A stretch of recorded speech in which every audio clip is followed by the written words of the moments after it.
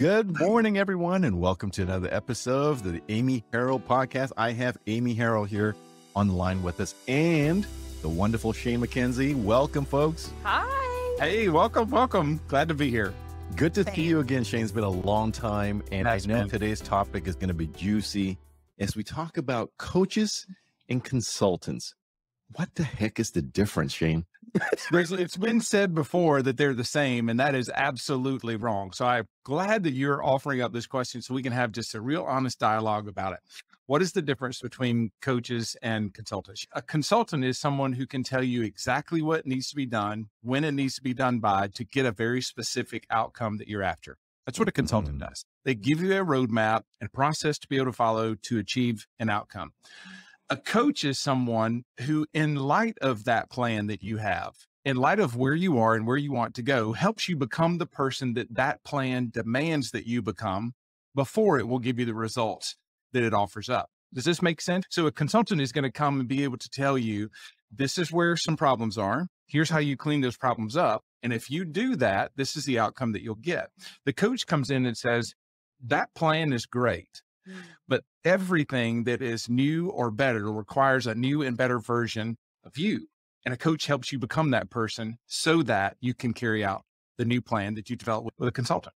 Mm. That's brilliant. That's a brilliant distinction. Amy, what do you have to add to what Shane just said mm-hmm. about I want to give an example, like a practical example of what this looks like. Now, Shane and I have been working side by side now for almost five years. He and I Mm, mentioned this yesterday, and I was like, wow, it has been flies. almost five Time years. flies. Yeah. yeah. And the one thing we have found is my work as a consultant, if you just check your brain at the door, it's very simple. You just do the thing and the thing produces what you want it to. However, it's the human brain that is spinning on old habits that is stopping the execution of this Mm. very simple work that's going to get very profound outcomes. So oftentimes we see clients get to the research phase. You and I have talked about this a lot, Sherman, get to the research phase of my consulting work that I do with them.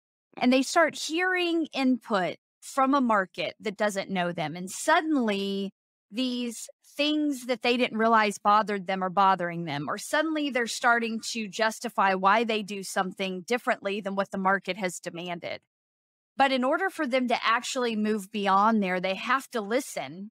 And ultimately, they have to make a new decision because the decisions they had been making up until this point are not going to get them the outcomes they want. So Mm. I phone a friend, Shane McKenzie, coach Shane McKenzie. Lifeline. Lifeline. I will take the coach call. Thank you.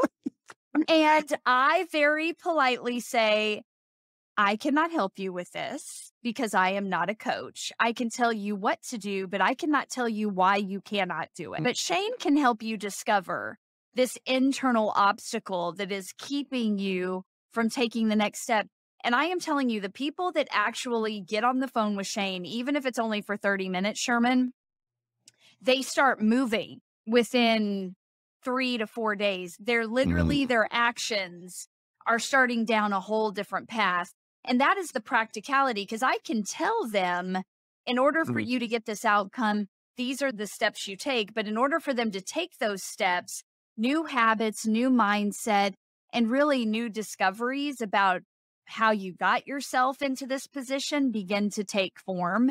And you need a coach to help you take new action. I love associating almost anything with food analogies.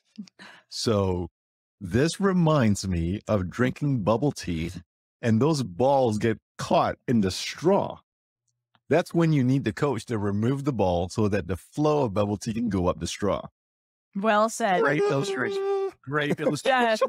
That's it. Great illustrate. That is exactly it. Shane is the bubble moving guy. Yeah. Or the ball buster. Yeah. well said. I have been described as the gentle hammer. Like, so very Yeah. appropriate. Yeah. So they go I would hand agree. in hand, is what you're saying. Uh, Yeah. When it sounds plain enough, but with somebody who's watching and listening to this, when is appropriate timing for each coach and Mm. consultant? Mhm. So I think uh, it it depends. it depends on where the person is getting stuck. They Mhm. at a place where they're blocking themselves from being even open to a plan, That's a new plan, a different plan. Are they just stuck in this is the way we've always done it? This is the way it's supposed to work. And I'm not going to pick my head up. I'm just going to keep it down and hope it works out in the end. Are they at that place where Mm. innovation is required, but they haven't become the person who can innovate yet? If so, a coach has to get them out of that mentality before a consultant will be able to provide them value. Mm-hmm. And we've already talked, I think, through this idea of no matter how ready you are, when you change direction, one of three things is going to happen. You're going to say this will never work. And that's going to be based off of all your past experience that you're hanging on, bringing Right. into that new change. Or you're going to start talking about how it's going to cost too much. It's going to cost too much money. It's going to cost me too much time. It's going to cost me too much energy. Cost, cost, cost, cost. But that is really just a justification for not experiencing the pain that comes with Mhm. transformation of doing something new. It's an Mhm. excuse. And then the third thing that I think you'll experience is you'll get through those first two and you go, I knew that would work all along. I knew that would work. I knew we'd get there. But if you, when you start out that journey, you don't automatically go to the third option. You've got to work That's your right. way through the first two. And that's where a coach can help you, I think. So to, me- to me, it depends. It- I'm curious, Yeah. Amy, what, what's your experience been? I think that when you observe that there is an external problem, okay, so for my clients, it is I've hired digital marketers and I still cannot get the outcome that I want. I've spent $18,000 over 12 months and I have eight emails to show for it and 0 Mhm, clients.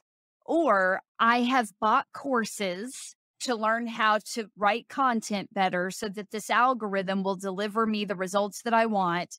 And I have gotten zero responses to my call to action. Or it could be that they have plateaued, they hit a level of success and they have no clue where the success came from. They don't know how to duplicate it. And what they had been doing all along is no longer working, which is typically referrals. So these are some of the problems, the external problems Mm. that my clients present with. If it is an external problem, that's what you're seeing. It's time to call a consultant. Call someone that can determine why the marketing didn't work, why the content isn't converting, why did the referral pool dry up. This is the time to call someone. If you are working with someone who has a proven process and you're not getting the same results as other clients that they're working with, then more than likely that is an internal problem and that is a Mhm. coach that needs to step into the process. So when I'm talking to someone that is not yet a client, I'm listening. Do they have an external problem or is this an internal problem? Because I am really good at helping people externally, but I don't mm-hmm. know how to coach. Do I use coach approach to much of my advisory work? Sure, I do, but I have no training. I don't know how to go into the deeper crevices of your brain and your past experiences and future desires and help you solve that problem from the inside out. But I can tell you what to stop doing and what to start doing and how to get the outcome that you want externally. For me, it is the distinction of the Mhm. leader or the owner that says, I recognize I'm the problem. Okay, then we need a coach. I recognize that our external efforts are not returning on their investment. It's time for a consultant. Yeah, that's good. I think one of the things that's kind of misunderstood, and it may be why people have a hard time pinning down, like, what's the difference between a, a coach and consultant, is Mm-hmm. because there's not really this understanding of where there is similarity. And Amy, you touched on it in that Mhm. coaches have a process just like consultants have a process. So coaches aren't just making stuff up. Consultants aren't just making stuff up. They have a, a Mhm. process. But the purpose behind those processes is what makes it uniquely different. Are we talking something external, consultant? Are we talking something internal, coach? Both of them are going to re- uh, rely on proven processes to help you move towards your outcome. But what where it is that you're stuck determines which of the two you need. And Sherman, on a podcast that Shane and I co host called Don't Be Fooled, our closing line, like our exit line, is systems run your business. That's the external environment. But you run the systems. The human runs the systems. That is what Shane is talking about. That we have mm-hmm. to become the people that the next phase of outcome we want, we have to be able to manage that, or we are never going to achieve what we really could achieve without that internal transformation. I thought you were going to tell me the slogan was don't be a fool. I will say that too. Let me ask you this question, Amy, based on what you shared recently, which is mm-hmm. profound. What is the one question that a business owner, a viewer, listener to this podcast is not asking, but they should be asking? Of a consultant or Of themselves or of, of themselves, it should be Am I the problem?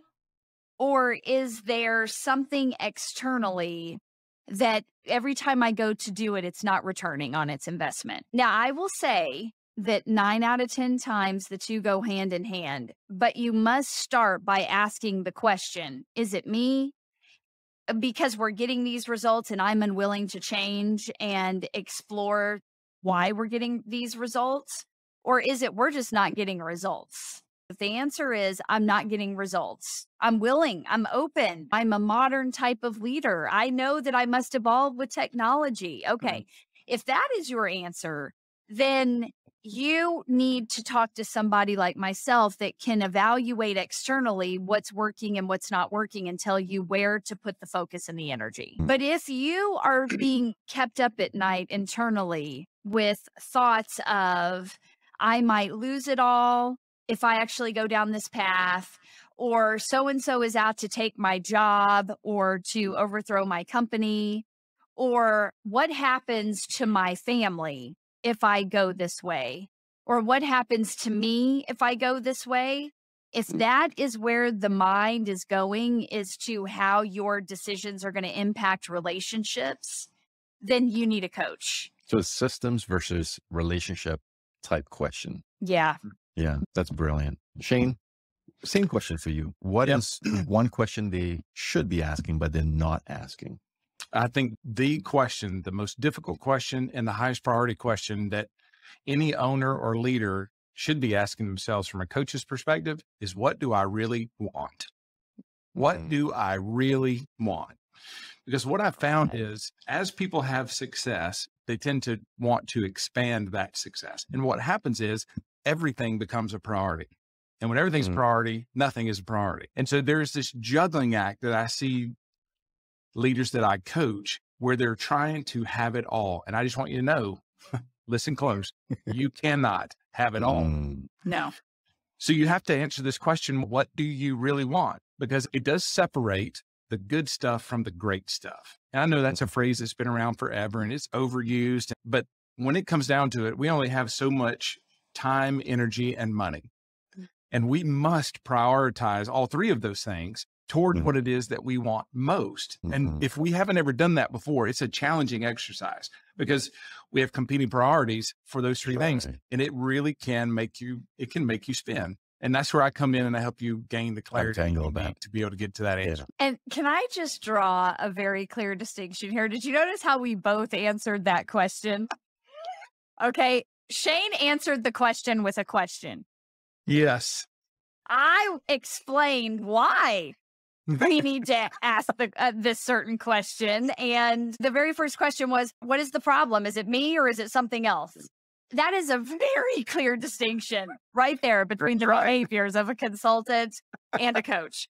His question was turned inward. Mine was, Well, where's the problem externally? i love it great It's amazing. It's amazing to see both sides of it. yeah, it is. Wow. Any Mhm. any final words for our viewers about this topic? No, but if you, if anything that we have said today landed on you, especially on these internal struggles, then you need to call my friend Shane. Mm. That's what I will say. We'll make sure that we include his contact information. Yeah. Shane, any final words before we end today's episode? i would say chances are you are at a place where you need either a coach or a consultant if you're at a place where you are trying to maintain the status quo i want you to know you are already in decline. The question is is your business in decline or, or are you in decline? And that's what will help you decide where to start.